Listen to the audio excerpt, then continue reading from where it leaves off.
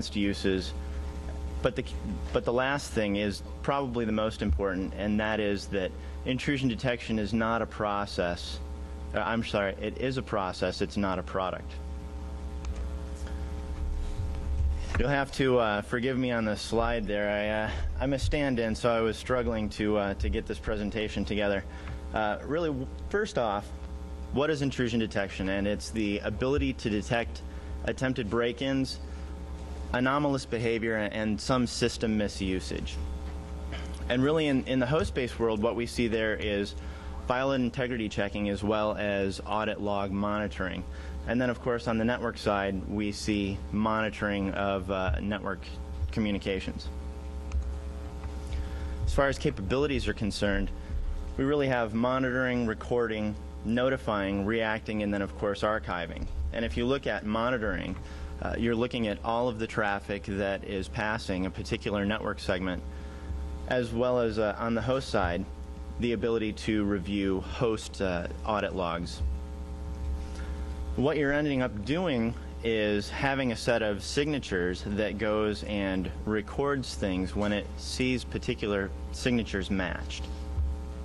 And then, of course, depending on the policies that you have set in place, when it sees a particular event that is matched, it can alert an analyst or administrator. This allows the administrator to react dynamically to a situation that might be putting your information resources in, into a, a precarious situation. And then lastly, of course, is keeping that information in archive format so that you can go back for not only prosecution support, but so that you can go and do data mining and event correlation. So I like to think of intrusion detection, especially network-based intrusion detection, as the ADT of information security. It just kind of sits and watches for you. So it's, um, it's a misuse-based system, and really what that means is it's looking to recognize patterns and signatures. This is really the majority of the systems that are out there. Um, NFR Securities, NFR product, uh, ISS, Snort is also written this way. The one thing to note about these systems is that they're really only as good as the programmers who are writing the signatures. So if you have a lot of signatures and they're not very vague, then you can get a fairly robust system and not collect too much information.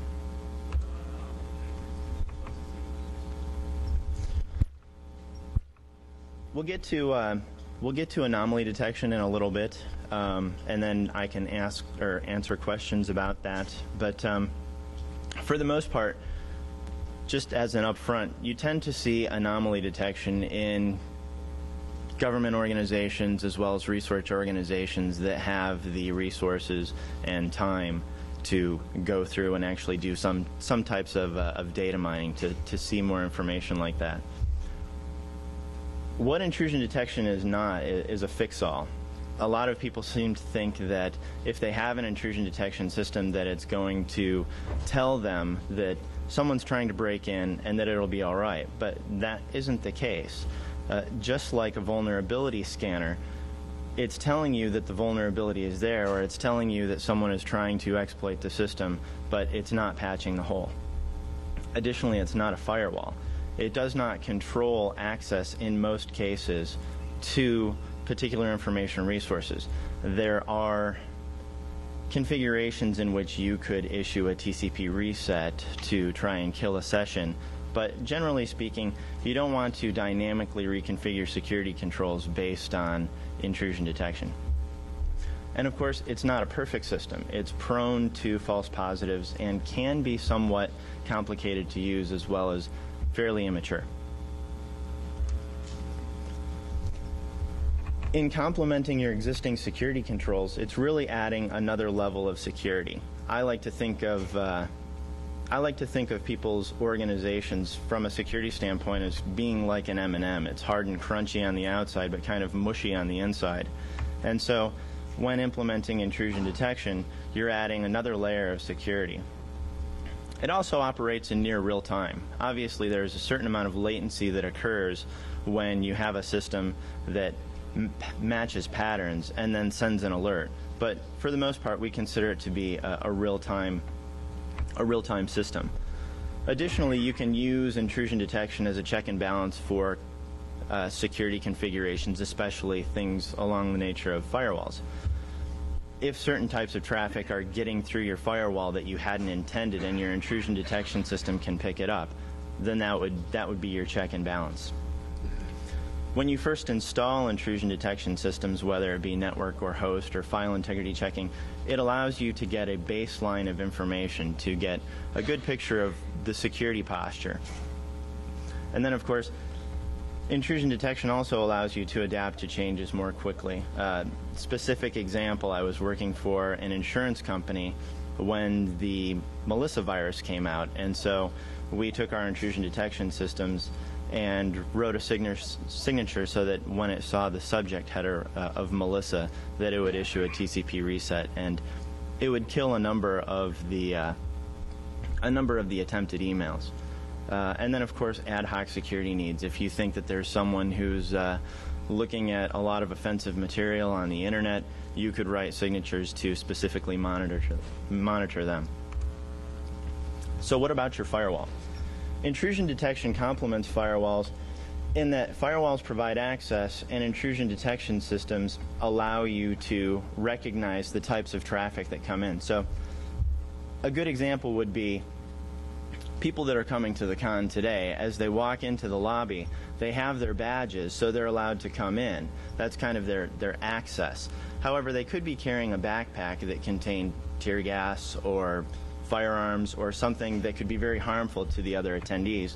And in a real life scenario, that could be applied to intrusion detection. So firewalls allow for the right access, such as HTTP going through port 80 on a firewall to get to its end host. But if it's if it's a malicious string, then intrusion detection would be able to pick that up. And then, of course, intrusion detection isn't just for the perimeter. It can be used on any network segment that has critical information resources or anything that you might want to monitor.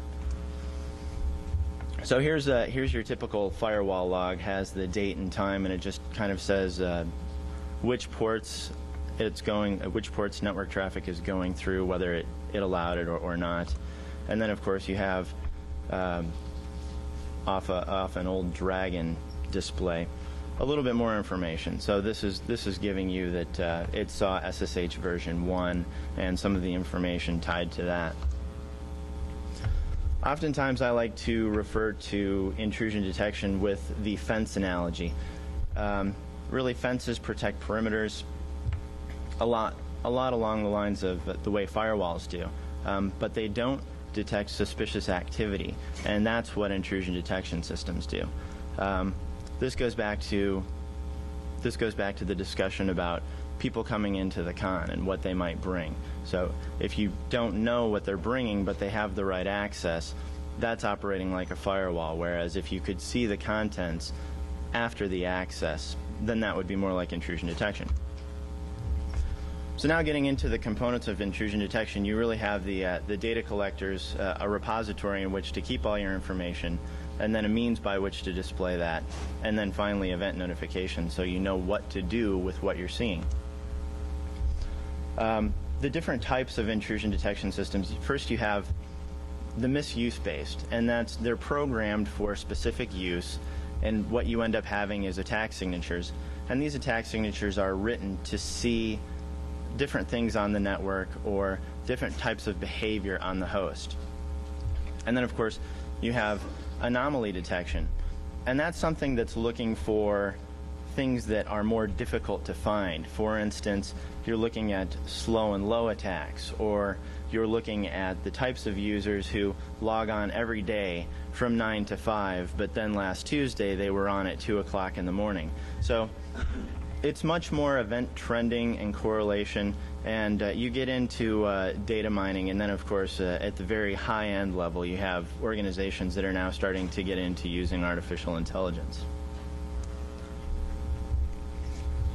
There are there are really three very popular methods of deploying intrusion detection. Uh, the first is the network node-based intrusion detection, which works very much like your regular network probe in that it it sits out on the network and it looks at the traffic. However, It's deployed on a specific host, and it only monitors traffic inbound to or outbound from that host.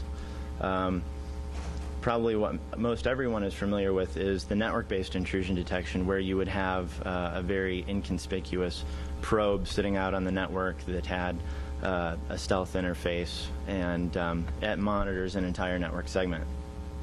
And then finally, host-based intrusion detection, which is also deployed at the host and monitors uh, audit logs and things of that nature. So really, the, the pros that you get with the network node intrusion detection is you're getting the benefit of having the network intrusion detection at the host. It's unconcerned with bandwidth issues because it's not looking at the entire network and depending upon where in the stack encryption is, you may be able to uh, work against some encryption. Unfortunately, since it is network-based intrusion detection, it really isn't telling you what the impact on the host is. It's not telling you if si critical system files were changed, whether or not the system's vulnerable. Um, and then, of course, there's issues of scalability. If you're going to if you're going to implement a piece of software out on each host in your network, uh, you're going to get into a situation where it may not scale. Network pros and cons. I'm really, really torn on this because I've worked with network-based intrusion detection for a number of years, and it's just failed me so many times. But uh, basically, what you've got is the ability to uh, ability to have something that's kind of more bang for your buck.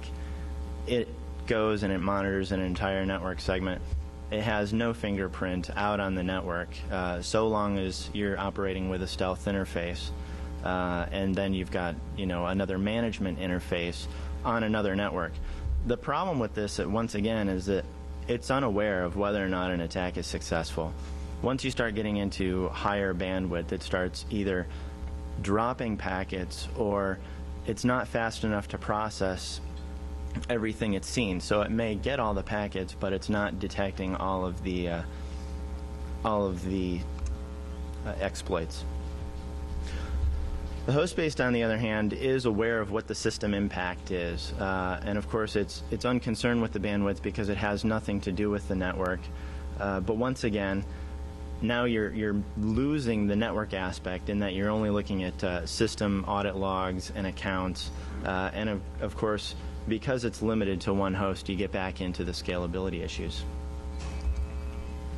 As far as variations of architecture are concerned, there are there are really four, and your first is your standalone.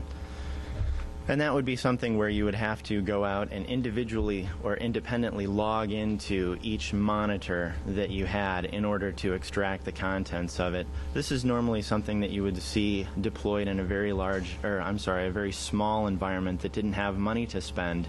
Um, and of course, in this type of environment, the event correlation becomes extremely difficult because you don't have a centralized data repository for everything to come back to. Typic, uh, typically speaking, in a distributed system where you have uh, products such as uh, ISS or Axent or CyberSafe, even for the for the host piece, what you have is multiple agents reporting back to a command console. And that command console can push down information and it makes it easier to correlate events. But the problem there is you've got you've got a one to many relationship. It's two tiered it's not truly three tiered and so you you're only allowed to operate with one analyst at a console at a time. And so an ideally distributed environment would be having many agents, whether they be host, network, network node, uh, file integrity checking, reporting back to a central data repository, and then having something such as a GUI client sitting out at your analyst's desktop so that they could easily log in and pull all of that information. And then, of course, uh, I mentioned managed environments because I used to work for a managed security service provider, but basically here in this type of environment, you have dedicated analysts who do this all of the time. Uh, those organizations are also held to specific service level agreements for response as well as data archival. Um, there are certain economies of scale because you are utilizing shared architecture. And then, of course, it's, it's minimal network overhead. And then finally, um, you know, it's, it's, it's very distributed. It gets back into talking about the shared architecture and it's outsourced. As far as architecture concerns, with the network base, you really need to worry about the bandwidth. Uh, as we get into faster and faster networks, um, a lot of the network intrusion detection vendors tout that they can do 100 megabit uh, or even faster. And it's true that some of them are starting to get there, but it's still an issue. The faster the, the faster the network, the, the more resources it's going to consume and more difficult. Scalability is also an issue because when you're having numerous hundreds, thousands of agents reporting back, uh, it can take up, it can consume uh, network overhead as well as consume some of your resources. Um, network fingerprint, it's not really a concern for your network probes that are out there so long as you implement them with a stealth interface. But you do see somewhat of a fingerprint with, uh, with the host based. And then, of course, you want to ensure that you've got a reporting back end so that you can gather all of this information and produce something useful for management, not only to get more money for the initiative, but also so that you can fine tune the systems that you have in place and pinpoint where trouble spots are. Oftentimes, the uh, oftentimes implementing intrusion detection becomes segment specific because it can be cost prohibitive. Uh, additionally, you need to look at the types of network traffic that you're seeing, especially when you want to implement network intrusion detection on something such as a public services network. Then you could really tune the system to the types of network traffic types of network traffic that you've got, as well as operating systems and the applications you have in play there, such as DNS or HTTP and things along those lines. There's a lot of debate as to where the best place to deploy intrusion detection is concerned. Uh, I will offer that you can deploy it to watch the internet or extranet. Uh, PSN is, is, many people refer to it as a DMZ, but by the very nature of the word demilitarized zone, it's saying that there's no control, whereas most people have public services networks where they have services such as web and DNS and SMTP that is controlled. So for the purpose of this presentation, I'll just call it Public Services Network. Um, internal, key network segments such as server farms, and then of course uh, anything on critical hosts. Uh, you could implement the host-based and the network node-based. Really, when, when implementing on your external or extranet segments, you're kind of looking at suspicious activity detection. This would be especially true in looking at all of the information that's hitting your firewall and that's hitting your perimeter. Some people would say that, well, I've got the firewall to block all of this, I don't need to see it, but since I'm so paranoid, I like to see everything that's coming in my network.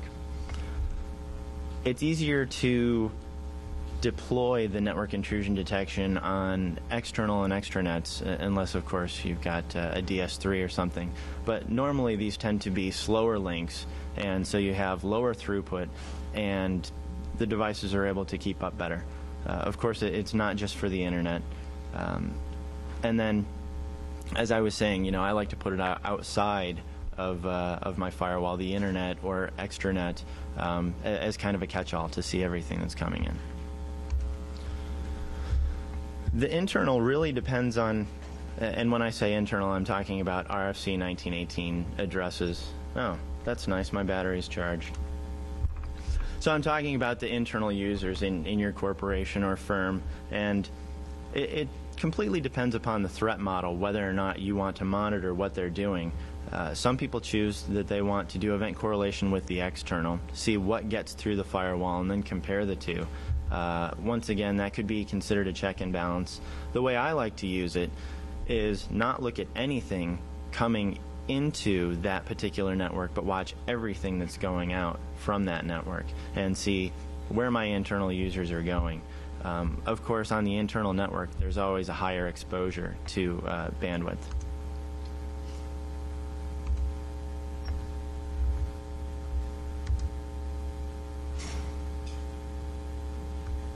Little technical difficulty. Okay. Uh, your critical your critical network segments and public services networks. Here is where you want to focus monitoring on the systems themselves. So that would mean implementing host-based intrusion detection, looking at key operating systems, uh, whether you've got you know 2000 Solaris, HPUX, AIX, specific applications, the types of traffic. You want to be able to narrow it down as much as you can because of the exposure to high bandwidth. So this would be an excellent place to implement host-based intrusion detection. And then, of course, we were talking about this earlier, but generally speaking, the way I like to implement intrusion detection would be to watch everything coming at my network from the internet, kind of as a suspicious activity monitor. Watch everything coming in from my business partners because my first responsibility is to protect my own organization. Um, there are some legalities or ethical issues related to ensuring that you're protecting your business partners, but my first concern is making sure I'm protected from my business partners as opposed to protecting my business partners from anything else. Additionally, as I mentioned earlier, I like to watch everything that's going out of my network. And then, of course, I like to watch things that go in and out of my DMZ because I really don't want to see anything initiating from my DMZ. I only want to see it responding. And, of course, I would put um, host-based agents out on uh, out on the servers on that particular segment. As far as NIC configuration is concerned, I had mentioned this a couple of times earlier in the presentation, so I'll cover it in depth now. With network-based intrusion detection, you really have three ways to go about configuring it. Uh, there's the dual NIC configuration with a stealth interface. So basically, you, you would uh, you would give it an all zero IP address and then do an ARP minus S, and you would end up having a stealth interface. And then on the other side, you would have um, either uh, most likely an RFC 1918 address that went back to a monitoring network. So essentially, since there's no IP stack on the stealth interface, it's operating in promiscuous mode, and the device is essentially broken. So someone from the outside is not going to be able to hack through that device to get into your management network. Um, another another type of configuration would be dual NIC without the stealth interface. Maybe perhaps you want to look at two different network segments on your internal network, and you think that the threat isn't such that uh, people will be trying to break the device. And then the last would be uh, a single monitored managed interface. So you would be basically you would be running um, in promiscuous mode, but you'd also be using that as your management interface to connect to the device. It's important to start looking at false positives once you get your intrusion detection devices up and running. Um, it'll give you ideas on how to better design your solution so that it's more intelligent. It'll also allow you to better understand the types of services and applications you have running on your network. Um, and then again, as I mentioned earlier, it gives you a, a, the baseline of your performance and then by which you can make adjustments. And then finally, really knowing your, your level of readiness. So where are you at as far as your security posture is concerned and the types of things that you have going on your network. Data archival is extremely important. Uh, essentially, you have data being saved on the agent, and then that agent is sent back to hopefully a central repository central repository, this is the best place to put it to have all of your information, resources, uh, all of your intrusion detection, and having that all come back to a central repository because it eases event correlation. It gives you an easier way to look at that information and to make decisions about that.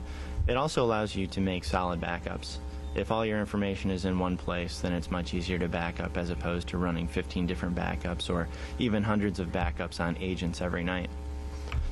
And then lastly, of course, if you have this gigantic database, it gives you the ability to run data mining tools and to do some of the advanced event correlation uh, as well as uh, perform some of the analysis. Custom configuration is really what I'm getting at here is the ability to go in and custom configure any type of misuse system. You certainly don't want to buy a system that's not going to allow you to go in and use um, standard notation and um, be able to fine tune the device, be able to enter in networks that you want to ignore, or wildcards, something along those lines. Because what invariably happens is you get way too much information. Then, when you have too much information, it becomes overwhelming for analysts, and then they just start ignoring it. Additionally, it gives you added functionality and freedom, and that comes back to reducing the information. Um, and finally, with the uh, with the ad hoc security needs, this would allow you to do something along the lines of create a signature that allowed you to look at the subject line of an email, and then, of course, perhaps issue a TCP reset to try and kill that session. There are uh, different types of custom attack signatures, uh, not getting too far into it, but you have Unix scripting, and a lot of that would be uh, would be Snort, um, proprietary languages, Intrusion.com's uh, SNPL, uh, NFR has N-code, Axent has uh, has their own language as well. Other products allow you to give a Windows-based interface where you enter characters or wildcards, something along those lines. As far as tax signature creation, you really have to be able to take an exploit and compile it in your labs, run the exploit, and capture packets. And when you capture these packets, then you can analyze them for what looks to be an anomaly. And then, of course, when you do that, then you can begin to author the signature in the chosen language that you want. And once you write that, then you can put it into your system and integrate it and see what happens. Here's an example of what uh, what I would call a Christmas tree attack, and basically what that is is if you look in the first 20 bytes of your IP packet, um, where all your flags are at, the Christmas tree attack, which is old and very basic, would be having all of your flags set. So you'd have your uh, your URG and your ack and your push and reset and, and uh, SYN and fin. That's never supposed to happen in anything other than a, a lab environment. So in this particular case, you would generate a packet that looked like this and then capture packets using you know, or whatever you'd like, and then you would generate an attack signature that looked for that specific activity. And then, of course, this is a, a fairly generic example of a snort signature. Basically, you've got your rule header, which is saying you want to alert anytime you see a TCP packet that's uh, sourced from and destined to the following, and then of course you use your rule options. And so this is a this is a a buffer overflow here, mountd buffer overflow. Some things that people try and do for intrusion detection avoidance for some of the uh, less robust solutions would be to, uh, well, the example here is uh, the finite nature of attack signatures. If it's looking for root in a particular attack signature, that's the way it's been programmed, then on the command line, if you enter, you know, R O three times and then a backspace and then a T, well, that doesn't exactly match what it's looking for, and that would be one way to uh, a very simple way to uh, to get around a system. There are still systems that are based like that that actually look at um, text rather than than context. Um, another thing, most most products are have actually progressed to the point where they're they're fairly adept at decoding hex. But for a very long time, products could not decode hex on the fly, and so if you uh, the the old uh, IIS um, colon colon dollar data exploit, if you wrote that out in hex, you could easily bring down uh, an IIS server. Um, and then of course a lot of the products are, are becoming better with this as well, but uh, being able to uh, to reassemble T TCP packets uh, that are fragmented. That used to be a very, very efficient way of getting around network-based intrusion detection. And uh, one of the, the products that did that very well was uh, Frag, Fragrouter by Doug Song. And then, of course, we really need to think about usable reporting. Uh, what types of reports are useful to us? Um, You know, are we looking for top talkers? Are we looking for event by priority? The types of things that become important to us are really independent based on one organization to the next. And of course, things to think about how often do you want the reports? I've seen reports run on a daily basis uh, for event by priority, and then, of course, kind of a weekly summary and even a summary, uh, monthly summary at times. Um, the key thing is really what do you what do you do with these reports? Oftentimes, you hand someone a report and they don't do anything with it. So the daily reports tend to be much more technical in nature, where you give those to your analysts and they can go in and analyze traffic and make changes to the system. And whereas your weekly summary reports are something that you would give to executive management, where they say, "Oh my gosh, I can't believe that somebody tried to hack us, uh, and it was 500 times." So, and uh, you know, the last thing is really, are the reports read? And oftentimes, I found that they're not. So, when you put in pretty pictures, then executives usually read them. Incident response is something that goes hand in hand with intrusion detection, so I'll just briefly talk about it here. But you really need to have the policies in place. Oftentimes, I've worked with clients to implement intrusion detection solutions, and then something happens and they say, now what? And they're really not sure what to do. And so that's something that needs to be defined up front before you get into installing the systems is having the policies in place. And your incident response plan is, is an extension of your security plan. It has everything to do with what's important to you in your security plan. If you decide that you want to be notified uh, every time someone fails their login three times, then that's reacting to that as an extension of the, the security policy. Um, and of course, that goes along with what do you do when you see specific traffic? How do you rate the severity of an alert? And then, of course, finally, uh, possible data forensics. Touching on event criticality briefly, it, depends on a number of factors. Most importantly, I would say your security policy and what you've deemed appropriate and important to you. What types of intrusion detection that you have employed is going to determine the type of information that you receive back. Uh, as far as the different levels of an attack are concerned, this gets back to the policy. This gets back to the types of operating systems and applications you have running on your network. You know what's important. If you're if you are running uh, if you are running IIS and someone launches an Apache exploit against you, it's not going to be very important. But if it were the other way around, then all of a sudden it would become pertinent.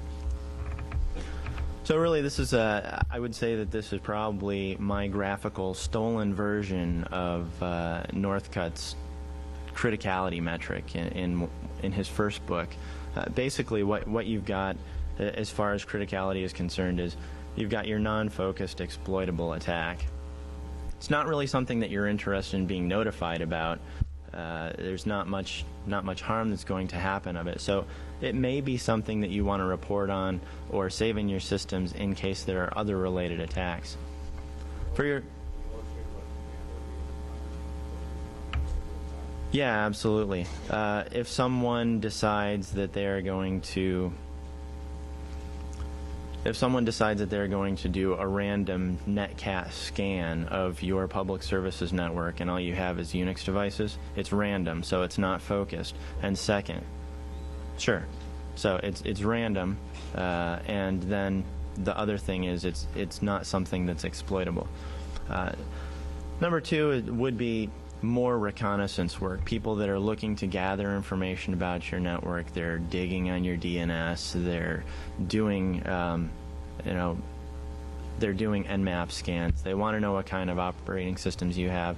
That's definitely something that's higher up on the priority list.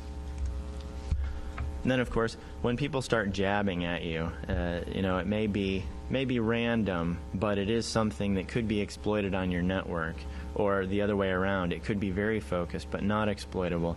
That's something where you really want to start watching what's going on in your network in real time uh, and then start possibly notifying people in your escalation procedures or even a client if you're doing this for someone. finally, uh, actually not finally, you have um, your focused exploitable. This is where you want to immediately contact the business unit that would be responsible for this information resource. Certainly something you want to be, report on. And then, of course, finally, level five is extreme danger. Uh, focused, you know that the system is vulnerable. It very well could have been compromised. It, it looks that way, judging from your host based intrusion detection systems. Uh, you want to immediately notify uh, either the internal or client contact and then begin to uh, to perform either uh, information uh, incident response or disaster recovery. And then lastly, just kind of throwing this in here is, is really assessing what your needs are when you're choosing an intrusion detection product. There are products out there that are very expensive. There are products out there that are open source that require a lot of time in coding and understanding. So how robust do you want it to be? Do you want to spend a lot of money and use half the features, or is it something that uh, that you can get away with spending less money? Um, and certainly demo the products, um, being able to conduct all of those comparisons to see the different types of things. Erecting a erecting an intrusion detection lab is is not it's not a huge feat, but uh, it does require that a lot of different systems are in there so that you can actually generate the bandwidth necessary uh, and be able to perform exploits on devices in there, so you can find out which systems are picking up and which systems aren't. And then, of course, grill the grill the vendors. And that's it. Thanks.